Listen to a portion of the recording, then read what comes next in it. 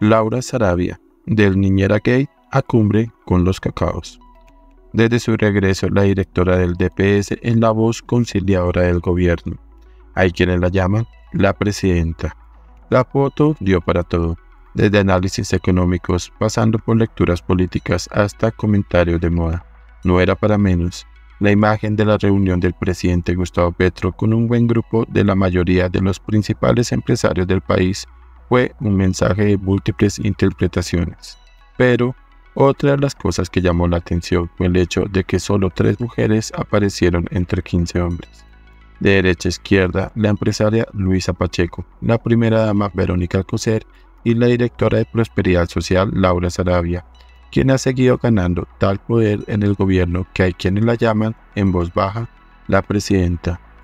Es cierto que en el fondo de la imagen también se puede ver al actual embajador de Colombia en Estados Unidos, Luis Alberto Murillo, y al ministro de Hacienda, Ricardo Bonilla, pero la atención por parte de los funcionarios del gobierno se la robó Sarabia.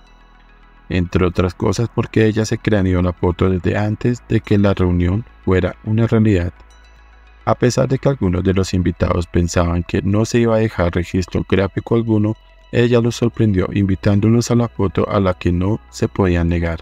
Y ella misma difundió la foto en sus redes sociales con un corto pero llamativo escrito.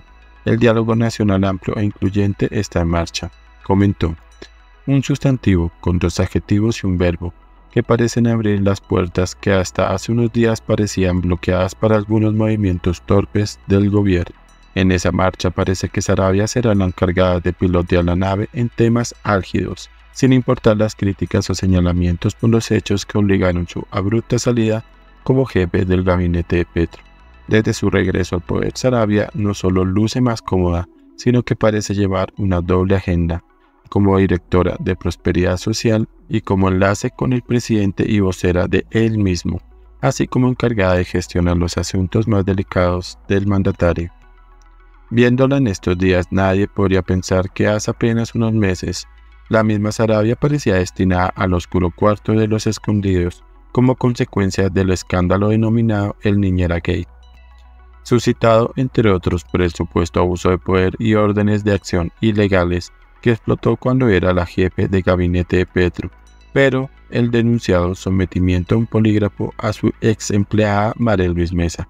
Esta semana precisamente el caso que involucra a Sarabia dio un giro cuando los abogados defensores del coronel Carlos Alberto Feria, jefe de la Oficina de Protección Presidencial, solicitaron que sea juzgado por la justicia penal militar y no por la justicia ordinaria. La petición de parte del coronel llegó solo horas antes de la audiencia en la que la fiscalía esperaba imputar cargos por peculado, por uso y abuso de función pública junto al jefe de la oficina de polígrafos, capitán Elkin Gómez Gutiérrez, y al intendente John Alexander Sacristán Borges. La fiscalía, como era de esperarse, dejó clara su posición a la petición de Feria y señaló que aunque los procesados hagan parte de la fuerza pública, eso no los exime de ser investigados por la justicia ordinaria. El ente investigador además dio a entender que la solicitud de la defensa del coronel tiene otros fines. También hizo un llamado a la cordura y pidió a la jueza del caso seguir con el curso normal del proceso. Iván Cancino, abogado de María Luis Mesa, también cuestionó la petición del abogado de Feria, al señalar que los procedimientos ilegales a los que fue sometida su cliente no trataban de ningún asunto de seguridad nacional, sino de los señalamientos por un hurto denunciado. La jueza, sin embargo, decidió suspender la audiencia el jueves y aplazarla para el martes. Agenda de cacaos. Quienes presenciaron la reunión del presidente Petro con los denominados cacaos empresariales del país esta semana en Cartagena concuerdan en que la voz cantante de la logística, el orden del día y hasta las temáticas propuestas del gobierno estuvieron bajo la responsabilidad de Sarabia. La reunión, dice, fue el resultado de varios días de trabajo y gestión política, según trascendió la actual directora del DPS, apoyada por el consejero presidencial Juan Fernández, tuvieron que pedalear duro con los empresarios para poder concretar el encuentro.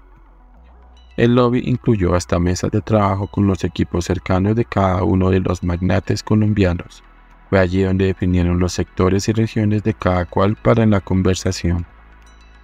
En medio de los días difíciles que vivía el gobierno, por cuenta de los evidentes traspiés del debate a la reforma de la salud en la Cámara de Representantes, la reunión terminó siendo un bálsamo momentáneo de tranquilidad, un suspiro de aire fresco en medio de un día a día contaminado de noticias políticas no tan alentadoras.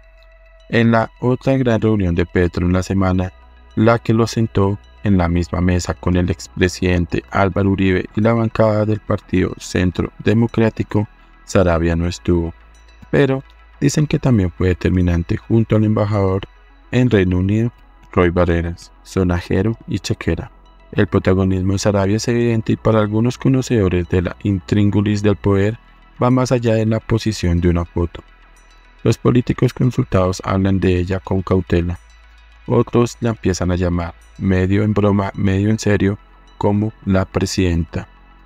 Tiene un sartén grande por el mango, así que mejor ser prudentes, dijo en tono cordial pero cortante un miembro de la Cámara de Representantes, quien prefirió que su nombre no fuera incluido en esta nota. Otros dos consultados prefirieron no opinar. Por su parte, el profesor y politólogo Ángel Tuirán cree que es interesante el papel que viene desempeñando Sarabia más allá del escándalo de la niñera que la obligó a salir de su cargo el jefe de gabinete. Además señala que es claro que es mucho más mediática y visible que sus antepasadas colegas en los gobiernos de Juan Manuel Santos y de Iván Duque, y que seguro será protagonista en lo que queda de gobierno. La graduaron de operadora política. Lo que creo es que hoy no tiene peso para estar en el sonajero presidencial de 2026. Entre otras cosas porque va a ser muy difícil que el próximo presidente sea el que diga Pedro, enfatizó el profesor. Pero Sarabia es sobre todo una mujer inteligente y que sabe hacer sentir bien a sus interlocutores. Los escucha, le responde sus inquietudes y trabaja de manera diligente. Por eso para Pedro es tan valiosa.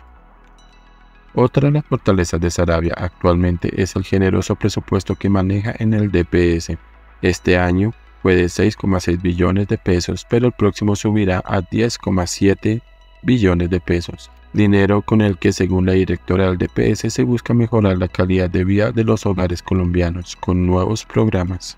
Y es que es grande el peso político que tendrá la funcionaria en un buen número de colombianos. De su firma dependen programas como Tránsito a Renta Ciudadana, el que solo en el pasado agosto entregó 2,2 billones de pesos a las familias beneficiarias. Además, el programa Jóvenes en Acción, que pagó 50 mil millones en agosto.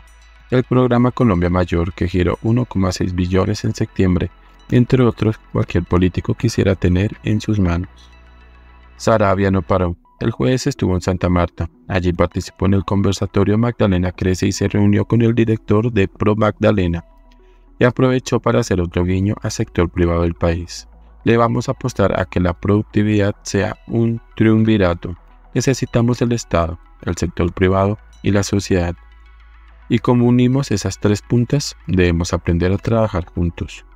La invitación, por tanto, es que nos unamos en torno al propósito común de atender las necesidades de las familias pobres y en pobreza extrema, dijo en una de sus intervenciones.